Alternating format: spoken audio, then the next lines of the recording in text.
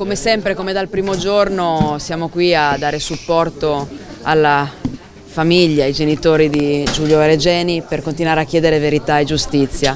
La sentenza della Corte Costituzionale è stato un passaggio importantissimo, eh, abbiamo sempre detto che quel processo si deve fare, quel processo finalmente si farà e noi continueremo a chiedere accanto a loro verità e giustizia per Giulio Regeni perché come oggi hanno spiegato è importante non soltanto per Giulio ma per tutte le persone che in Egitto subiscono torture e eh, sparizioni forzate, quindi è anche per questo un processo importantissimo che noi continueremo a seguire, continueremo a sostenerli. Grazie. Che deve fare ogni sforzo per ottenere eh, la, gli indirizzi e la comparizione di questi quattro imputati. Non è possibile che l'Egitto continui a coprirli. Grazie.